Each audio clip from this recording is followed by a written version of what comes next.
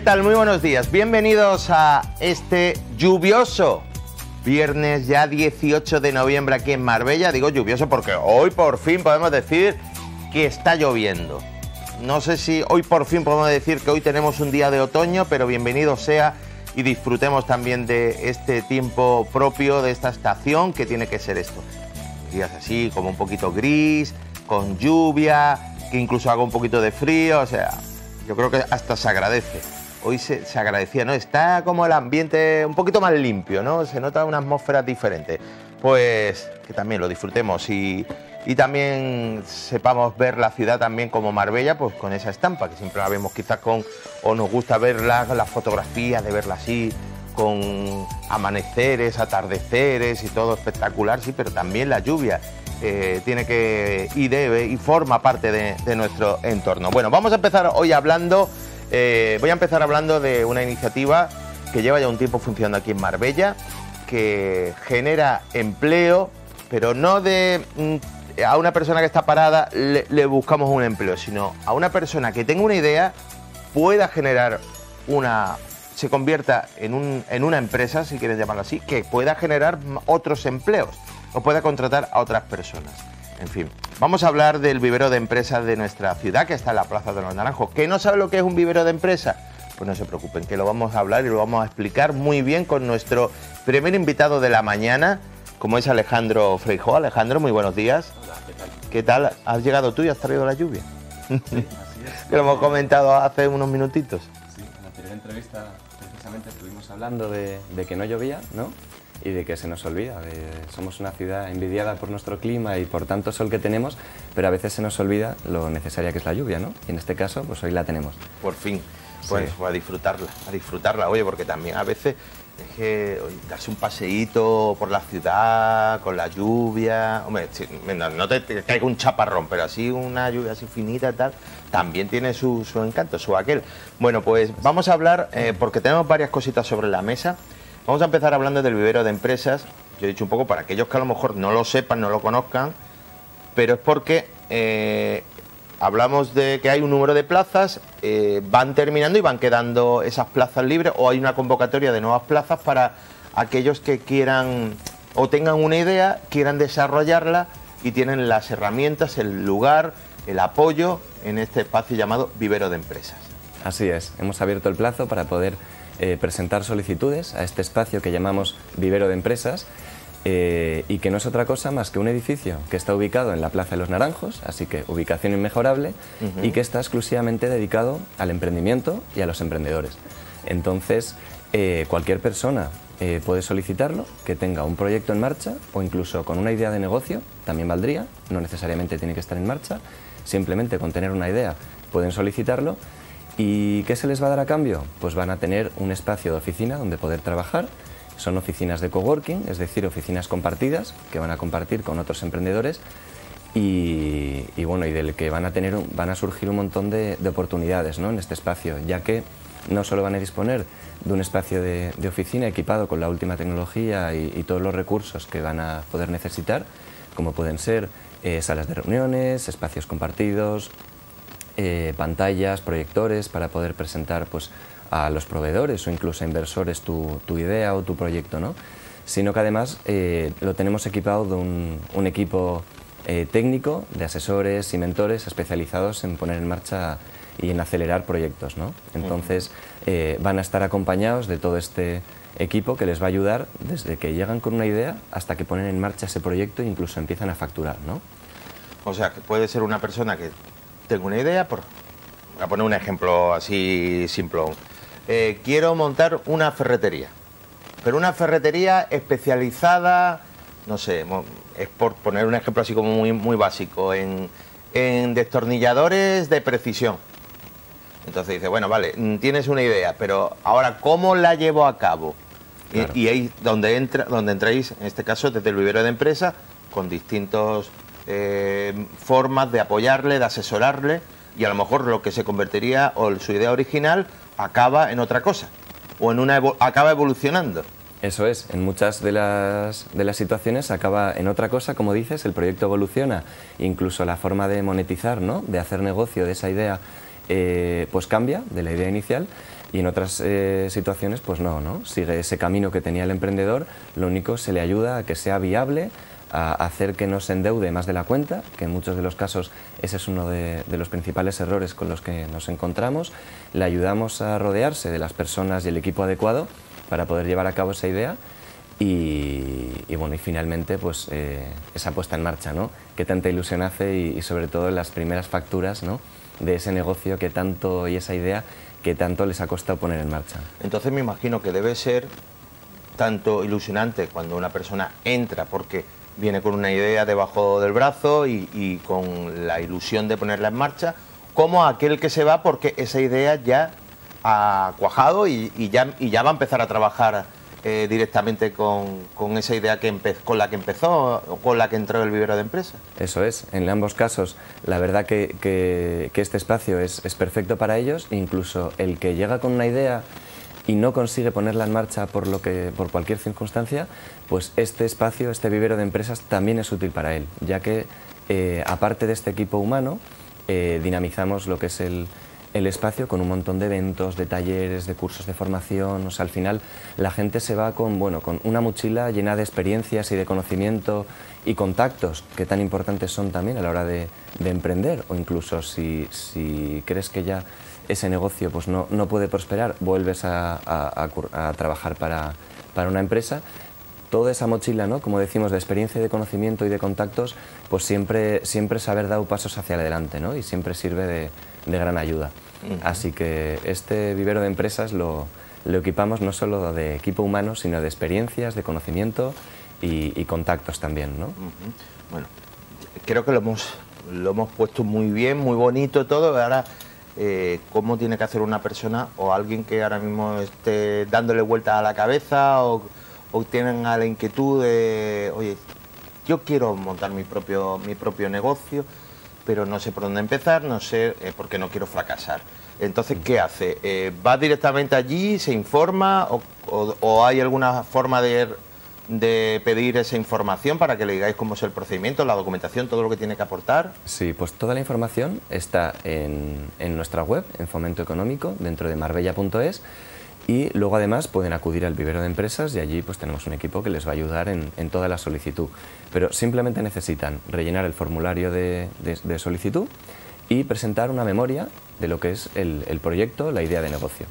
¿vale? Una breve memoria en la que expliquen, eh, pues tampoco hace falta con mucho detalle, pero lo que es la idea, lo que quieren poner en marcha, qué objetivos persiguen con ella, y, cómo lo vayan a llevar a cabo o algunas ideas generales. ¿no? Simplemente con eso ya pueden solicitar el espacio y nuestro equipo técnico lo valorará y les dará ese, ese espacio.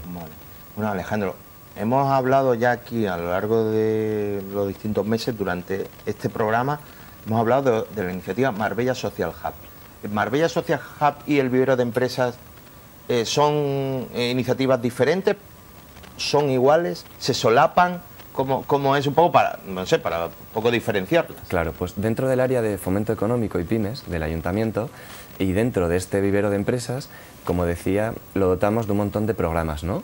Y entonces uno de ellos es Marbella Social Hub, que está dirigido a emprendedores y a empresas que quieran incorporar alguna parte social o de innovación social dentro de, de sus empresas o, de sus procesos, ¿no? Cada día se está valorando más esto, incluso empresas eh, muy muy grandes como bancos, eh, consultoras, auditoras a nivel eh, España están incorporando esto en sus procesos, incluso están dedicando alguna parte de sus ingresos a realizar alguna acción social, ¿no? porque cada día, más, cada día son más los clientes que valoran este tipo de acciones en las empresas.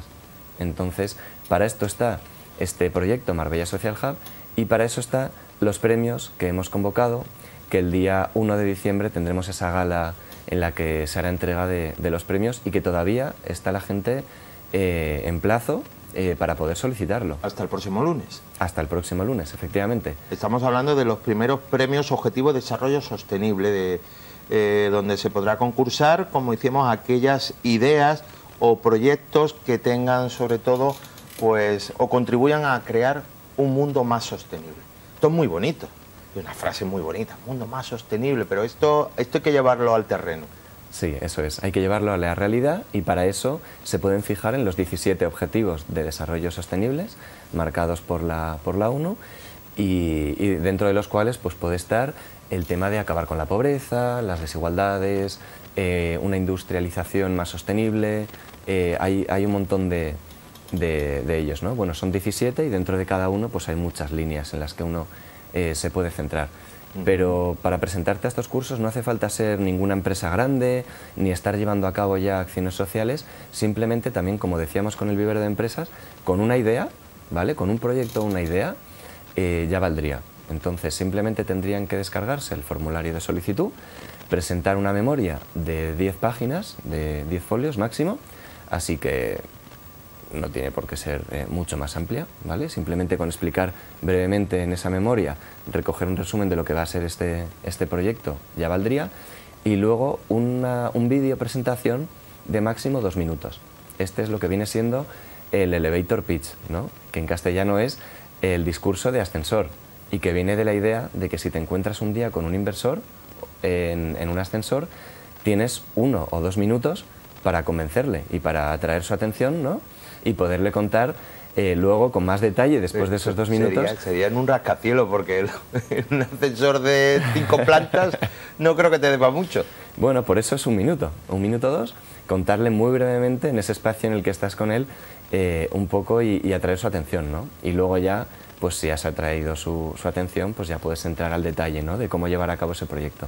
Bueno, quiere decir que tiene eh, en este caso un premio de 1.500 euros para el ganador, 500 euros para el segundo. Eso es. Hay también premio económico y si quieren, eh, o bueno, si no saben los objetivos del 2030, que son 17, como decía Alejandro, les digo algunos, fin de la pobreza, eh, también al hambre, a acabar con el hambre, garantizar una educación inclusiva, lograr la igualdad entre géneros, garantizar la disponibilidad de agua y el acceso a una energía asequible, promover el crecimiento económico, fomentar la innovación, reducir la desigualdad o luchar contra la desertificación. Eso es. Así que variedad hay. Ideas, pues que hay tantas que recuerdo de eh, esa que ya se ha convertido en una aplicación, de, por ejemplo, contra el, desperdicio alimentario. Eh, haciendo a través de una aplicación, pues distintos comercios ofertaban, oye, tengo este producto que se me va a quedar, que si no lo vendo lo voy a tener que tirar, pues lo rebajo de precio. Y, gente pues que compraba Eso productos de caducidad, de próxima caducidad y... Eso es, también hay aplicaciones para compartir vehículos, hay aplicaciones para, eh, bueno, de tema inmobiliario también, que ahorran muchos costes y sobre todo pues desplazamientos y, y, bueno, y, contribuyen mucho al, al medio ambiente también, ¿no? Y bueno, como decíamos, son dos los premios, pero serán cinco los finalistas que tendrán la posibilidad de presentar su proyecto en esta gala del 1 de, diciembre para finalmente, después de sus presentaciones, elegir esos dos, ¿no? que se llevarán ese premio de 1.500 euros y el segundo de 500. oye, eh, para el tema de, certificación, que recuerdo que estuvimos hablando con Arboretum, eh, que tenían un programa, creo que se llamaba Polen, y lo que era simplemente el crear espacios con flores autóctonas para que eh, los insectos polinizadores, de todas las abejas, tuvieran ese sitio donde pudieran descansar y hacer su función. Eh, pues eso también y hacen que puedan florecer y que contribuya a florecer. O sea, estamos de alguna forma ayudando para que no se pierda y por lo tanto perder mm, zonas, zonas verdes, ¿no? Pues, claro. Pues para que vean otra idea que hay ahí. Sí, esta semana eh, estuvimos en los premios Emprende de, de, Málaga y uno de los, de los premiados fue, eh, por ejemplo, un, esto, bueno, habrá gente susceptible a, yo el primero yo creo, a incorporarlo, pero bueno, parece ser el futuro. Un microchip que se mete debajo de, de la piel en la mano y que detecta si vas a tener, o detecta con, eh, bueno, mucho antes que, que los análisis, Em, por ejemplo, pues posibles enfermedades degenerativas que puedas llegar a tener, incluso, bueno, estaban pensando ya no solo en tema sanitario, sino incorporar agenda o un móvil allí, o sea, increíble, podías tener toda la información guardada en este, en este microchip, ¿no? Esto parece algo muy lejano, pero yo creo que dentro de, de no mucho habrá, pues, igual no dentro de la piel, pero por ejemplo, pues anillos, relojes, cosas que te puedan predecir este tipo de, de cosas, ¿no? La gente un poquito reacia. Ya este miedo de que me controlan, ya hablan mucho de que el teléfono no se espía. Es. Imagínate si le dices de ponerse un chip. Sí, por eso decía que todavía es algo que lo vemos muy, muy a futuro e incluso reacio, pero en el tema sanitario, si verdaderamente te puede ayudar a, detectar ¿no? patologías o enfermedades, eh, pues bueno, mucho antes de lo que se podrían detectar, pues bueno, eh, también es una contribución, ¿no? Son ideas muy innovadoras que contribuyen a, hacer un poquito mejor la vida, ¿no? Bueno, pues como decíamos, estamos hablando, hemos hablado por un lado de esas nuevas plazas que va a haber, de no sé si hay un plazo para que eh, entre los nuevos viveristas o, esto va constantemente, rotatorio? Claro, el plazo va a ser hasta cubrir las plazas. Actualmente tenemos 11 emprendedores en el vivero, más 6 nuevos que se van a incorporar la semana que viene y hemos llegado a tener hasta 40 emprendedores. O sea, tenéis 11, 6, 17, o sea que todavía quedan bastantes Todavía quedan muchas plazas, sí, porque al ser espacios compartidos hay mucha rotación, no les exigimos estar sentados en el puesto de trabajo todos los días a todas horas, ¿vale? Porque entendemos que mucha, eh, gran parte del trabajo pues, se hace fuera de las oficinas, con reuniones y, presentaciones y demás, pero bueno, eh, ellos saben que tienen ahí ese espacio con toda esta eh, todas estas posibilidades de, pues bueno, de, formaciones, talleres, eventos y demás, y sobre todo este equipo que les ayuda siempre que lo quieran a, resolver sus dudas y para no caer en errores que, podrían cometer por, pues bueno, pues por estar emprendiendo. ¿no?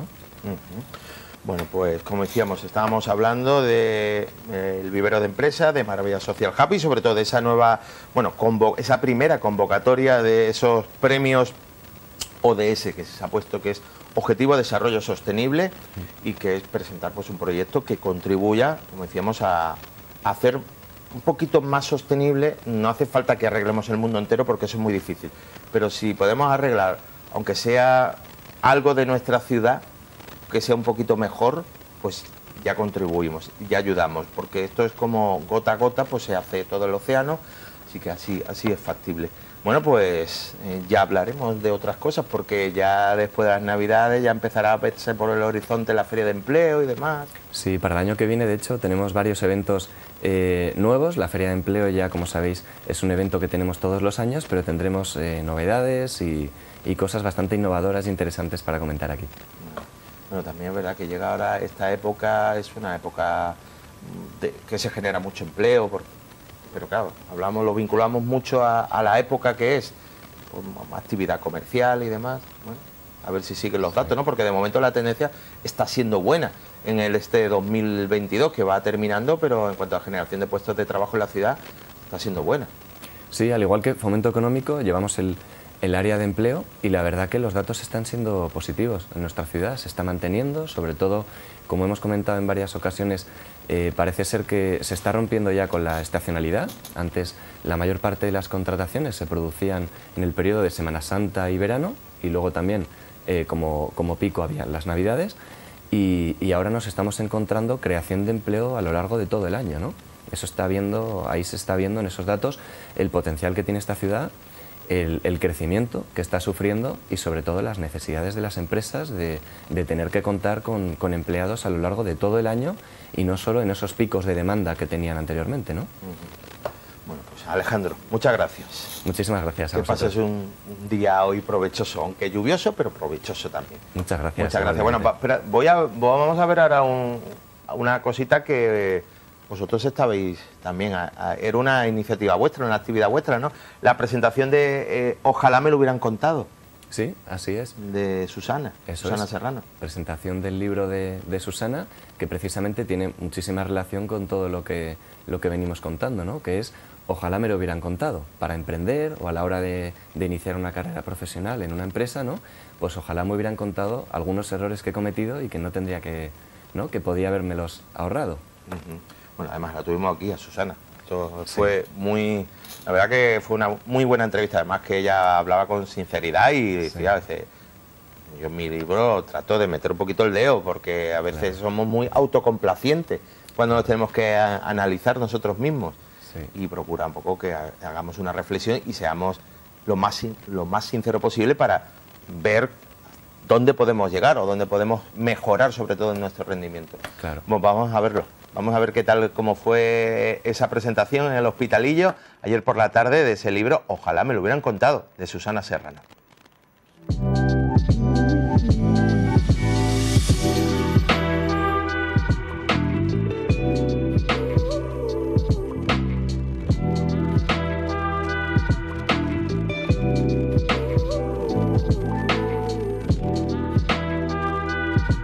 Las cosas que ojalá me hubieran contado al principio de mi carrera profesional, porque hubieran hecho mi camino pues algo más sencillo, menos frustrante a veces, pero bueno, así que por eso se llama Ojalá me lo hubieran contado.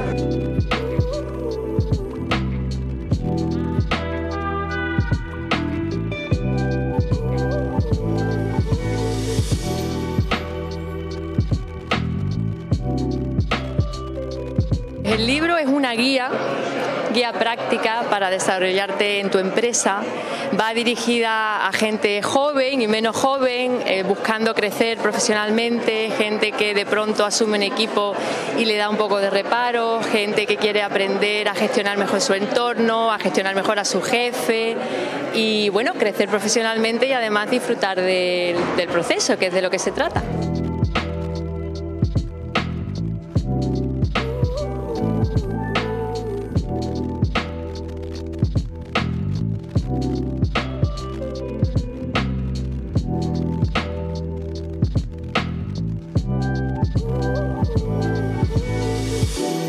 De publicar el libro, pero detrás de esto hay mucho trabajo. Hago mentorías profesionales a través de organizaciones de formación, también directamente, tanto a emprendedores como profesionales que trabajan en el mundo de la empresa.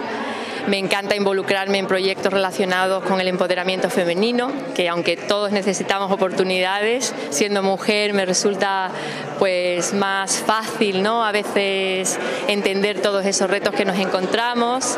En fin, eh, me encanta tener proyectos diferentes y eh, este libro es el primero de otros. Eh, ya ha empezado el boceto del siguiente y mi, ilusión es poder utilizar de una forma muy fácil de explicar, eh, pues compartir métodos, compartir historias, ejemplos que ayuden a las personas, no a que yo les diga lo que tienen que hacer, pero sí a ellos mismos hacerse las preguntas adecuadas para encontrar sus soluciones, no las mías.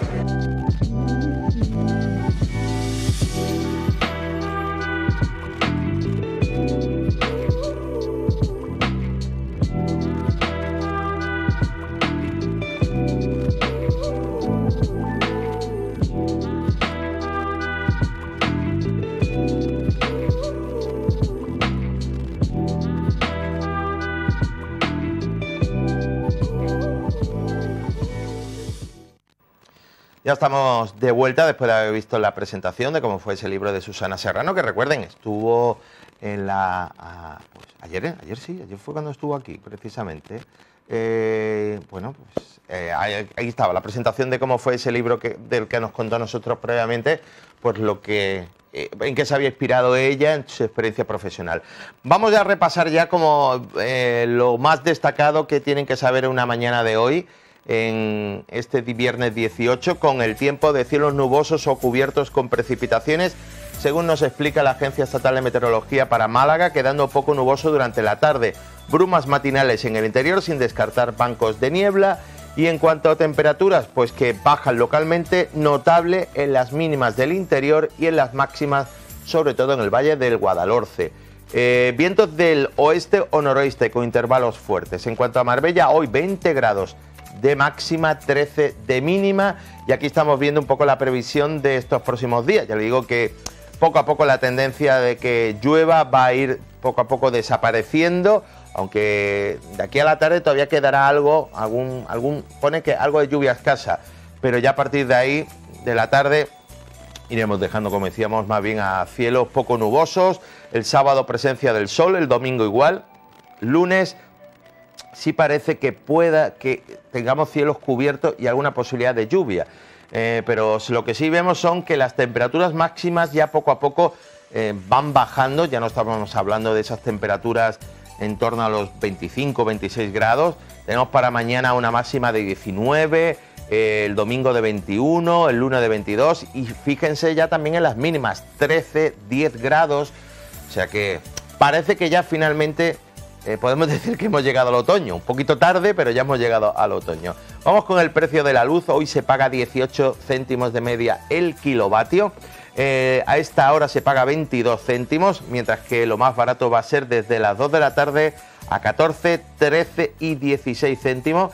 Eh, luego se irá a los 21, pero no es lo más caro. Lo más caro ha sido de 8 a 9 de la mañana, donde se pagaba a 32 céntimos. Así que hoy por lo menos parece que la franja habitual donde solemos estar en casa no va a ser la más cara.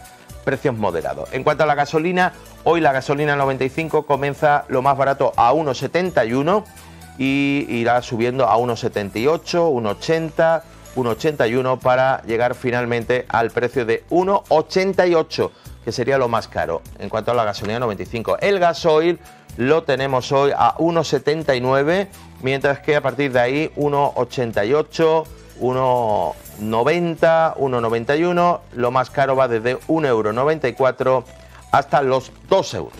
2 euros con 009, que no sé, son, que son céntimos, que no sé cómo lo, pongo, pero vamos, 2 euros, para que se hagan una idea clara y rápida. En cuanto a la situación del tráfico, a pesar de, la lluvia, eh, desde la DGT no se informa de ningún accidente ni ningún problema en nuestras carreteras, ni tampoco en los accesos, sobre todo, o en las salidas hacia dirección hacia Estepona, ya saben, Puerto Banú, San Pedro, o también hacia Málaga, especialmente por la mm, travesía de Fungirola, que es uno de los puntos quizás conflictivos.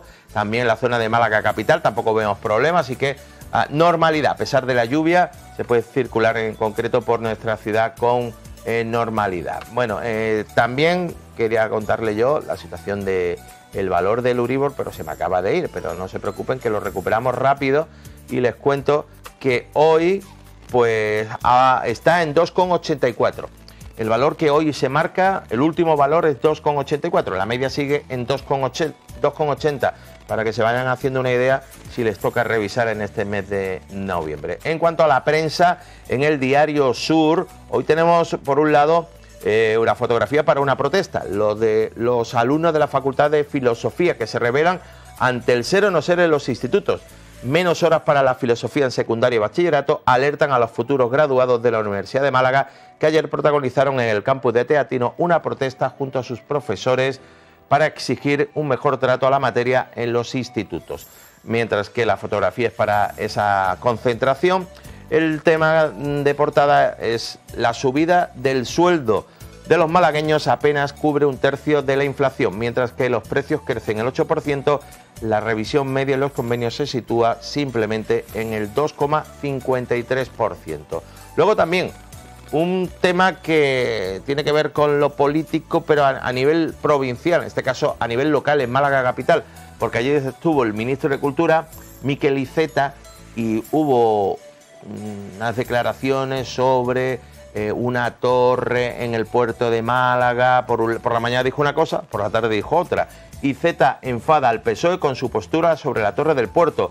El portavoz Daniel Pérez responde al ministro que detendrá esta barbaridad si llega a la alcaldía. Además de esto, Francisco Salado, el presidente de la, de la, Diputación de Málaga, pretendemos que no se pierda una gota de agua.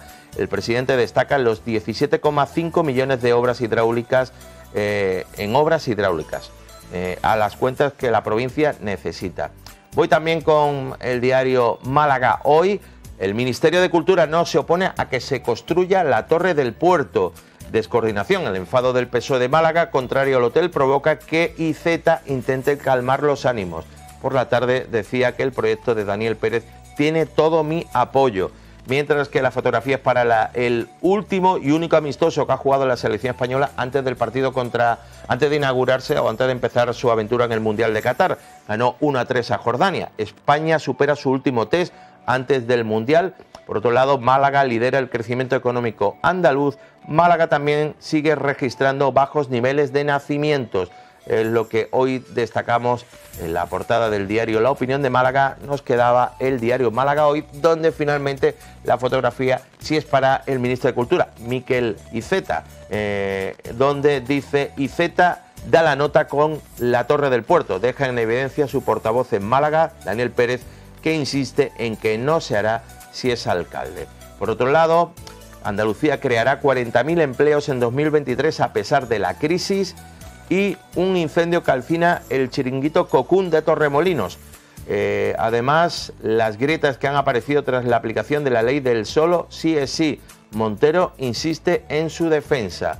Eh, y nos quedaba por último también que un 11% de los nacidos en el materno este año son prematuros. Es lo, de, lo principal, lo que nosotros hoy hemos querido traerles de los diarios de tirada provincial que pueden encontrar tanto en el kiosco como también en sus ediciones digitales.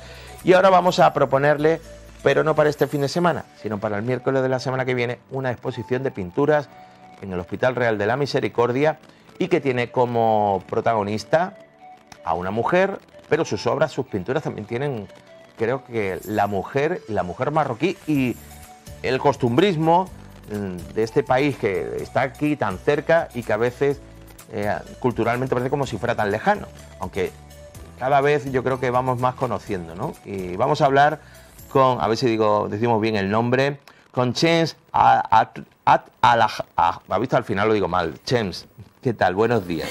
Buenos días. Eh, menos mal, que tú te ríes. no te preocupes. No te preocupes. Eh, Ata Alaja. Eso. No, di, que sí. no, pero el H, el H es suave. Ah. El H, el final. Vale. Allah. Que eh, aquí hay cosas muy interesantes y que, eh, que, hay que destacar también de, de, de, tu faceta como artista.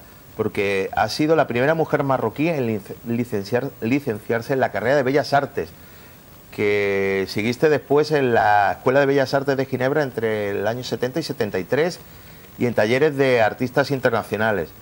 O sea, te pregunto, es que... Lo Toda mi vida estoy buscando lo mejor. Pero, ¿te costó mucho? ¿Te costó mucho llegar a ser, el poder tener esa titulación? Sí, porque la familia tradicional marroquí no admite que su hija estudie el arte el arte estaba mal, mal eh, visto. Sí, porque parece que el papel de la mujer, mm, ya, digo en general, porque también en esos años, si quieres, también en España, eh, parece que el, rol de la mujer estaba muy definido. la mujer tenía que estar casi obligada a estar en la casa, al cuidado de la familia. Que en eso no, somos tan, no hemos sido tan diferentes. Mm. Eh, cuando estaba yo he estudiado, estudiado el, el, español y el árabe. He estudiado durante la protectora. Mm. Entonces hemos tenido un curso que se llamaba La cocina y el hogar.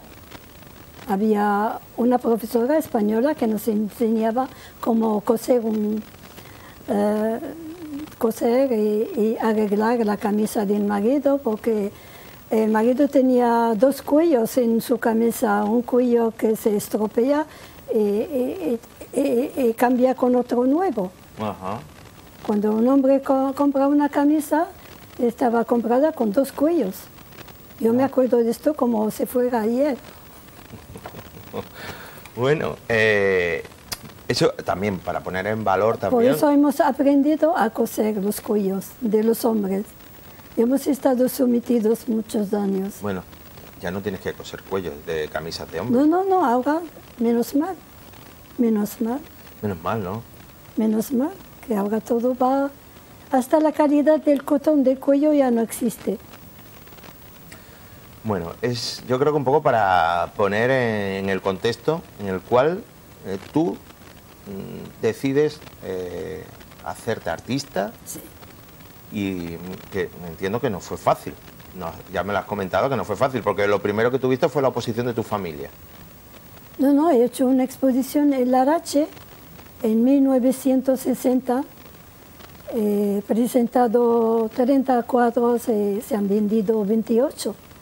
Así como, como no había mucha gente en aquel eh, tiempo, la gente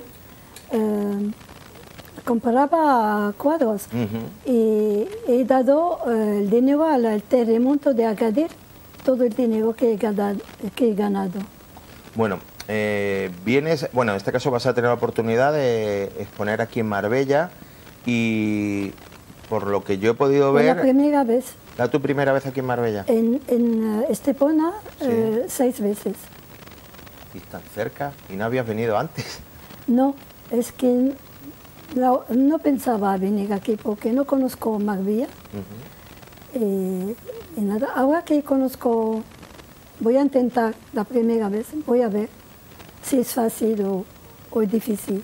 Bueno, eh, lo que in- intentas o lo que reflejas es, eh, es una mirada a El la- desarrollo de la mujer marroquí. Eso es. Mm, Sí, desde pequeña, desde pequeña que andaba 5, 6, 7 kilómetros para llegar a, la escuela, en una escuela que solamente eh, y después ha luchado, ha estudiado, eh, después del bachiller, del bachiller, obtener un bachiller, van a Francia o van a, Canadá o otro sitio para terminar los estudios.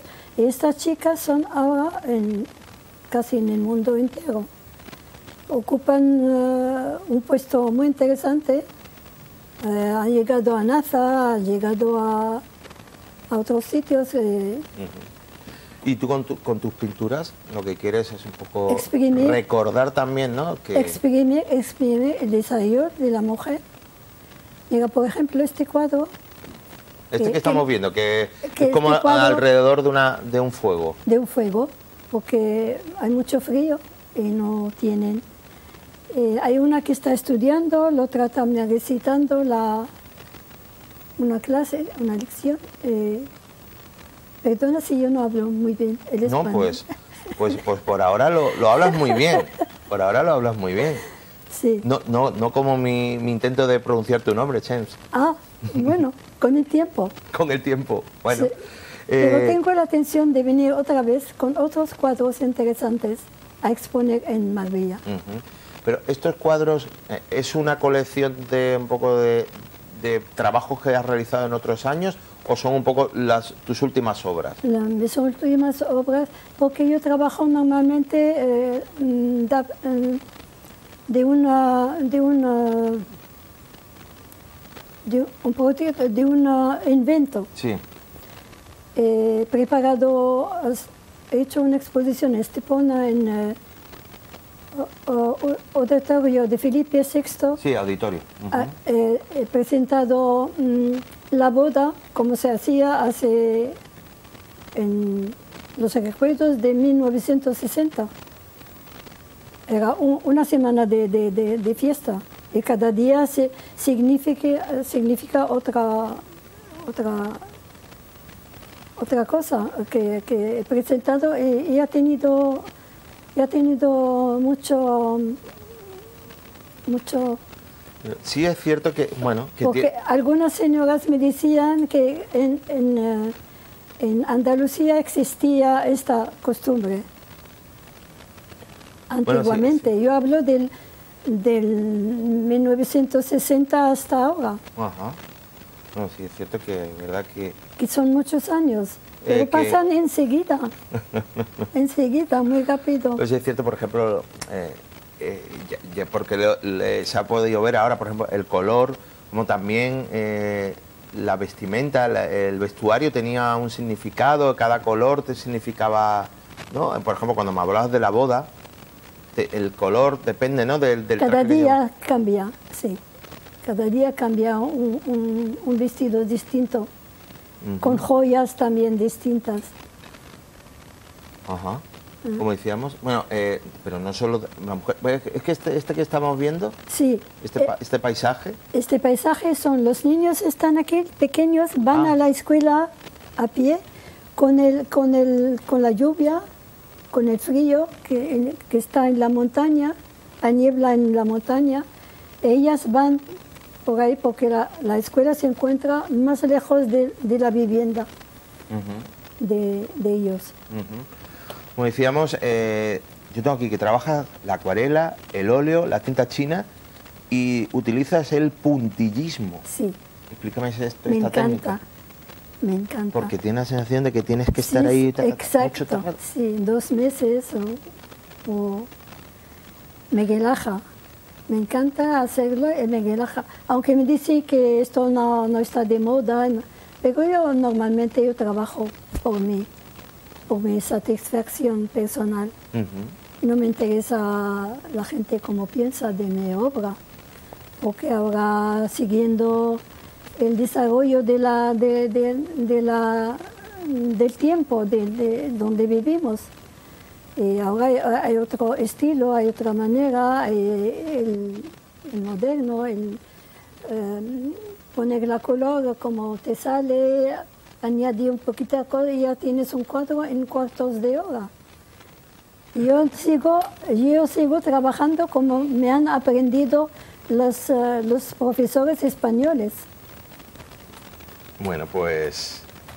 eh, Así que tengo, tengo un agradecimiento a, a estas personas, si todavía están vivas, que, que lo- Dios le protege y, si están muertos, que, que están bien en Ajá. su... Bueno, eh, la exposición será a partir creo del 22, ¿no? Estamos hablando de... Martes. El martes. ¿Hasta cuánto va, cuántos días vas a Hasta estar? el 20 de diciembre. Ah, bueno, vas a estar un mes casi prácticamente. Sí, sí.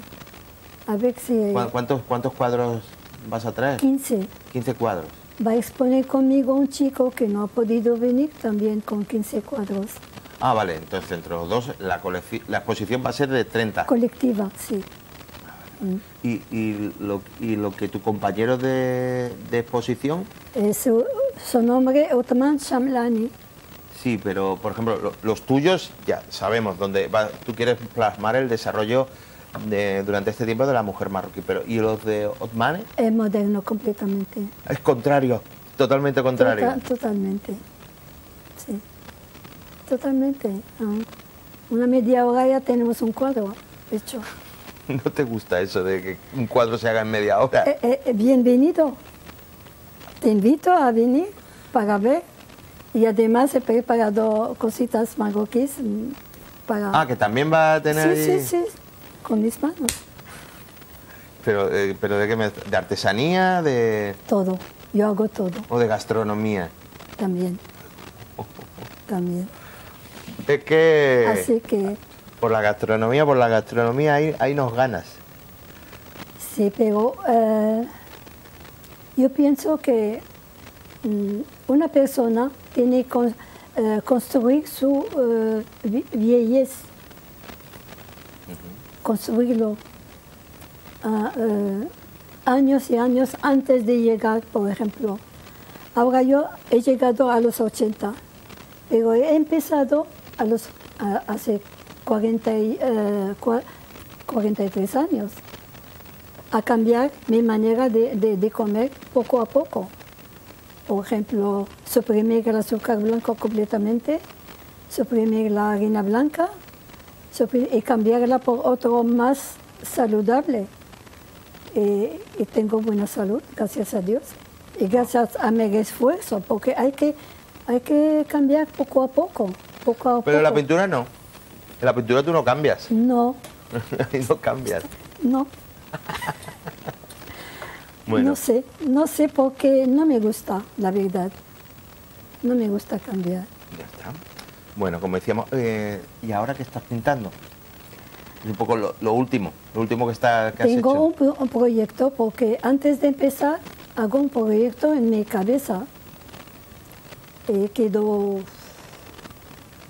un mes, dos meses, eh, depende. Ahora quiero trabajar otro, siempre, casi siempre mujeres. La mujer andaluza.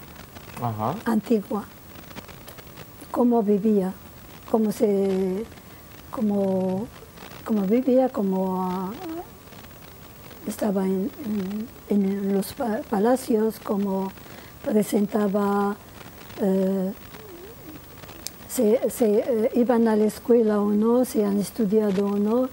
Esto tengo que, que pensarlo y tengo que trabajar sobre este asunto antes de empezar a pintar. Bueno, y como era el papel de la mujer, prácticamente casi casi la niña, casi casi que daba el salto a mujer, casi por, por obligación, porque tenía que asumir ya el También- rol en casa. También, también. Eso tengo que, buscar y, leer los libros sobre este asunto para presentar una cosa que es real. O sea, tú lo primero que eh, lo que buscas es información, lees y, a través de ahí ya tú te encuentras la inspiración. O te haces tú la imagen de lo que tú quieres plasmar en el yo, lienzo. yo cambio um, a mi manera, pero uh, yo uh, tengo que, que tener seguro eh, este asunto que, que, es muy importante. Yo pienso que, eh, esto va a durar al menos dos años. Ah, vale, este proyecto te va a llevar unos dos años. Normal, porque voy a, presentar, voy a preparar unos 50 cuadros, no 15. 50. Y cuando, usted sabe, cuando eh, pintamos al óleo, tenemos que dejar la a, secar dos o tres o cuatro días y, meter otra cosa. Así que... Muy bien. Pues Shems Edoha Ata Ala. ¿Ha visto? no, es, no es difícil finalmente. No es difícil. Muchas gracias por estar aquí. Eh, hay que decir que va a ser tu, primer, tu primera exposición en Marbella, me has dicho. Sí. Pues ya sabes a partir del próximo 22, martes 22, en el Hospital Real de la Misericordia, el Hospitalillo. ¿A partir de qué hora? María Paz es una encantadora señora que quiere facilitarme esta, exposición. Lo, vas a inaugurar el martes, el martes de la semana que viene, pero ¿a qué hora? A las 5, a partir de las 5 porque van a venir mucho, muchos amigos de Estepona eh, para tener un, porque ahora a partir de las 6 ya hace noche. Cambia el clima. Ok, pues muchas gracias y que no sea la primera. A usted. No sea la primera y la última vez que vengas a Marbella, que vengas más veces. Espero que sí, espero que sí. Muchas gracias, Chem. Muy amable de, a usted. Nada, a ti. Eh, eh, ¿Puedo eh, tener una copia de Ah, vale, sí, eso sí, no, se preocupe. Por favor. Ahora, ahora cuando tú sabes que ahora van a venir para que puedas salir, eh, tú lo comentas con nuestros compañeros y no te preocupes, que te, van a decir cómo conseguir la... Y bienvenido a la exposición. Muy bien, muchas gracias. Muchas gracias. Bueno, pues nosotros que vamos a ahora aprovechar para irnos a hablar del Black Friday no Friday, como yo he dicho antes, que perdonen mi inglés. Bueno, en este caso vamos a hablar. Muchas gracias a nuestra invitada, pero tenga cuidado que lleva el micro. Bueno, vamos a intentar, a ver, a, mi, compañero, Iván, ponme por esta cámara, por aquí. Bueno, lo que pasa que la pobre que... Bueno, no pasa nada, Chem, no te preocupes. Eh, cosas que pasan en directo. Bueno, vamos nosotros ahora mismo con nuestra siguiente invitada. Vamos a hablar del Black Friday, eh, ese famoso invento, si quieren ponerle, que al final se ha convertido en una costumbre. Es una tradición, podemos decir, americana que se ha extendido a todo el mundo, pero que supone pues, que eh, durante ciertos días se puedan comprar productos a precio, a un precio más rebajado. Pero lo que nosotros decimos aquí, que nadie da duros a pesetas, eh, si lo quieres entender así. No todo es oro lo que reluce.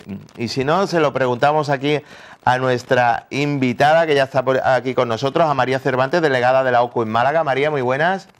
Hola, muy buenos días. ¿Qué tal? ¿Cómo muy bien. Como...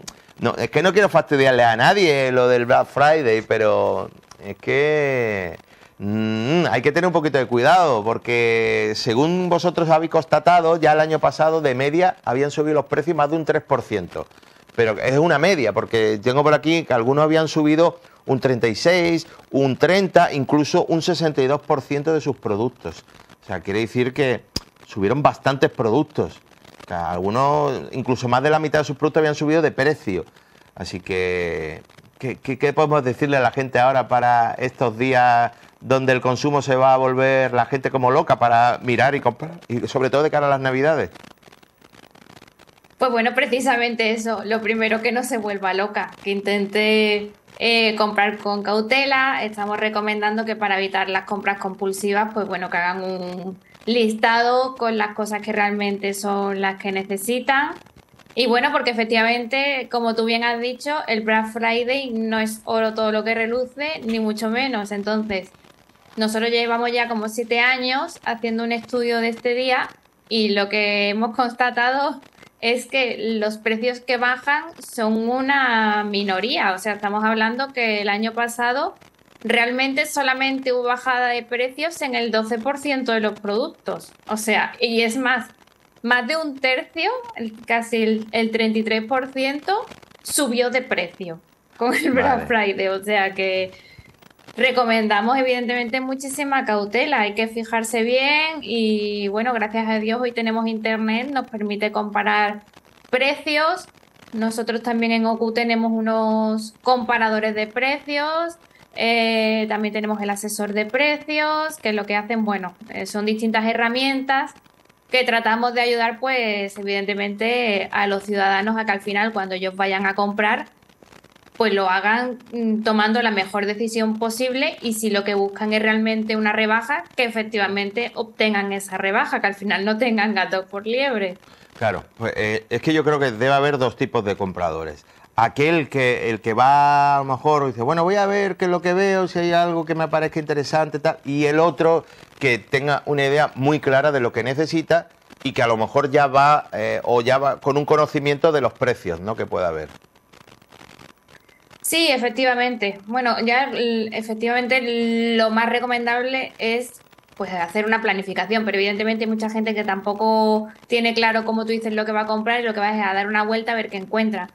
Para este tipo de personas, pues muy importante, tienen que saber que conforme a la legislación vigente, los productos que estén rebajados es obligatorio que conste su precio anterior y el precio actual, es decir, la rebaja o el porcentaje e informarles que si no tienen puesto esto en el precio, seguramente sean porque no tienen rebaja. ¿De acuerdo? Entonces, bueno, pues para que hagan ellos sus compras y con la mejor información posible. Eh, María, ¿qué pasa con las pantallas de ordenador? Porque es lo que habéis constatado vosotros que es lo que más sube. Bueno, las pantallas, las impresoras, los altavoces portátiles, donde parece que no son en las televisiones, que quizás es otro de los productos estrellas en este mercado.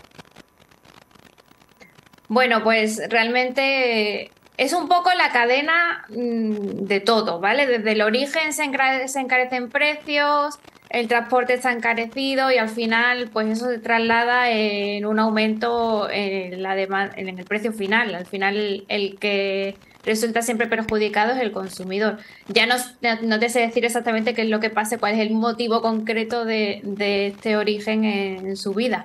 Pero ya digo, mm, cautela a la hora de, comprar este tipo de productos. Nosotros, además del tema electrónico, sí que tenemos un, como digo, un comparador en OCU donde puede, bueno, eh, introducir las características del producto que quieres comprar, en este caso si es un monitor, un monitor, y el asesor de OCU te dice si es el precio adecuado o no lo es. Y entonces yo creo bueno que eso puede ayudar también a la gente que quiera comprar este tipo de productos tecnológicos, que efectivamente es lo que estamos detectando una mayor subida con gran diferencia. O sea, claro.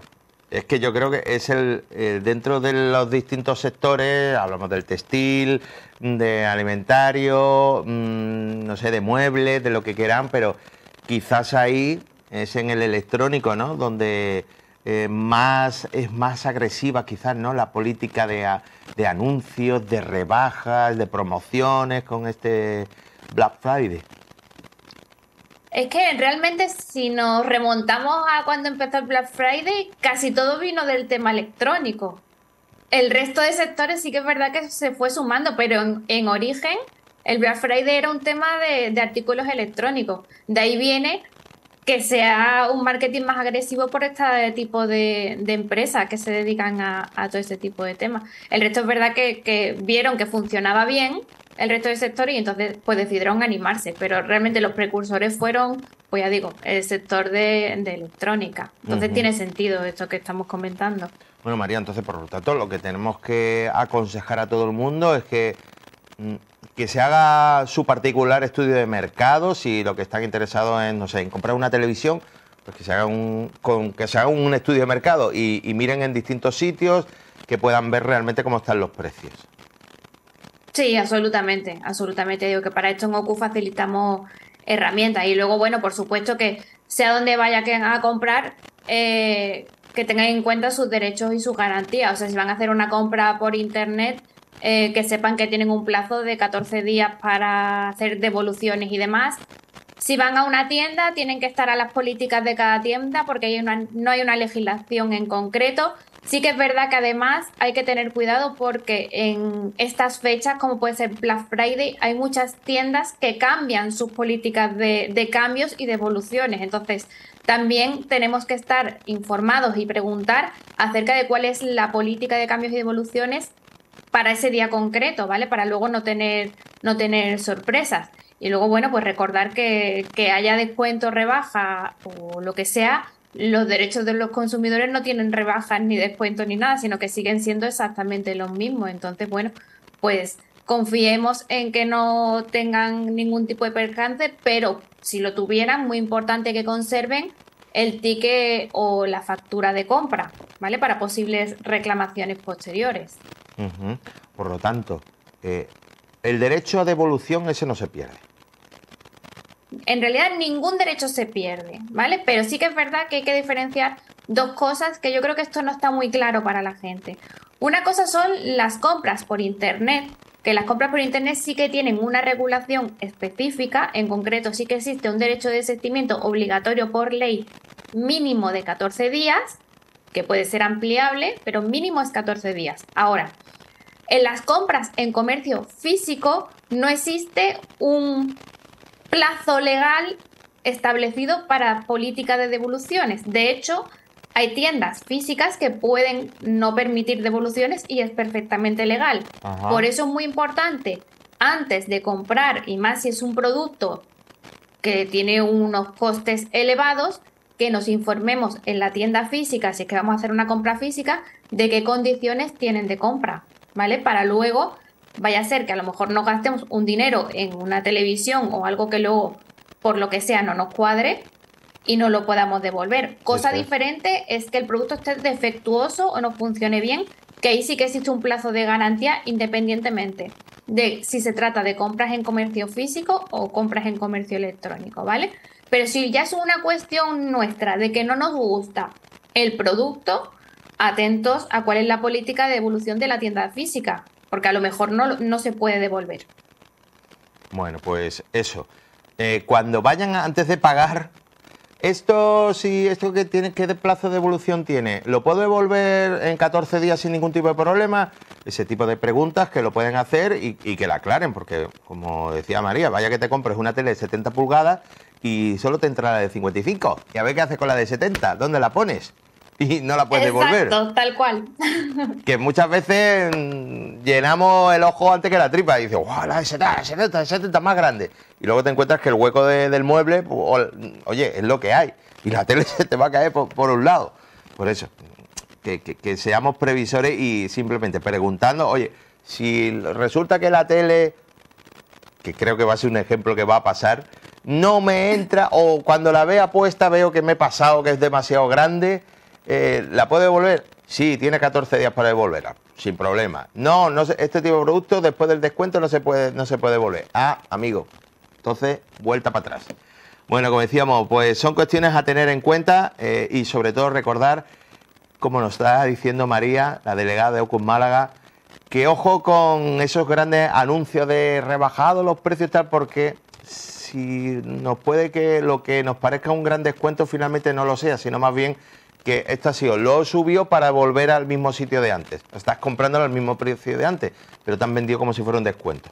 ¿Más o menos así, María? Tal cual, es una cosa que se me ha olvidado comentar, pero justamente es algo que venimos detectando desde hace años, que es frecuente que los establecimientos hinchen los precios los días previos al Black Friday para luego aplicarle un descuento y dejarlo al mismo precio o más caro incluso que a lo mejor estaba el mes pasado. Entonces, bueno, pues hay que tenerlo también esto en cuenta. Bueno, pues tampoco vamos a decir que todos los comerciantes van a engañarnos.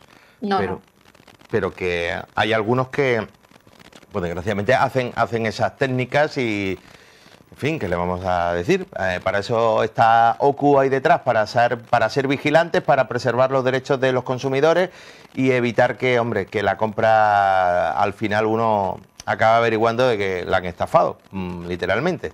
que he pagado por algo que pensaba que estaba rebajado, he pagado más que antes. Así que, en fin, eh, ya saben, consejos varios que tienen, eh, que intenten comparar los precios, e intenten ver que, el precio realmente es, un precio atractivo, que tiene un descuento real.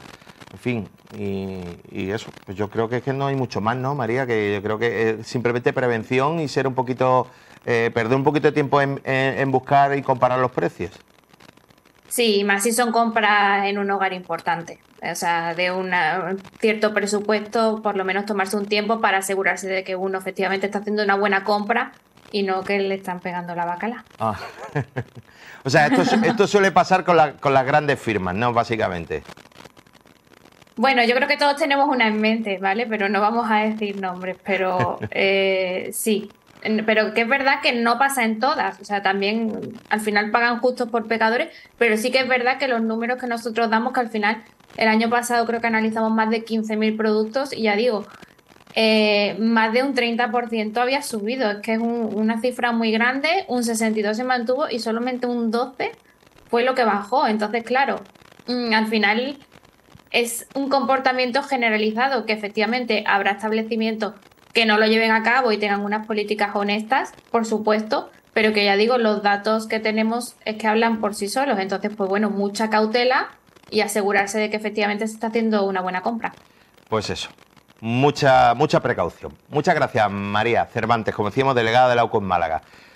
Que no sé, te, te, voy a preguntar ya lo último, ya lo último, ya así en plan, ya que estamos. Ah, ¿Vas a comprar algo en el Black Friday? ¿Tienes algo ya visto? ¿El qué? ¿Acerca de qué? ¿De la luz? Eh, no, digo, si, vas a comprar ah. algo. Eh, tengo que hacer la lista. Ah, pero sí que es verdad, pero yo voy a hacer lista, ¿eh? Que conste. Y voy a comparar y demás. Y si no me cuadra, no voy a comprar. Pero sí, sí. Pero las cosas electrónicas sí que es verdad que me las he dejado para el Black Friday. Vale, pues yo como que no tenía pensado de comprar nada, pero es cierto que voy a tener que mirar y voy a mirar a ver. Yo creo que todo al final. Vamos, a, acabar mirando. Algo, algo picaré, algo picaré. Pues muchas gracias, María. María Cervantes, delegada. Sí, gracias, buen fin de semana. Igualmente, buen fin de semana. a la delegada de la UCO aquí en Málaga. Nosotros casi aprovechamos para irnos a hacer nuestra primera parada para la publicidad. Volvemos en un minutito que vamos a tener a más invitados con, con los que vamos a seguir charlando aquí en nuestro sofá, aquí como en casa, en directo en Radio Televisión Marbella. No se vayan, que volvemos enseguida.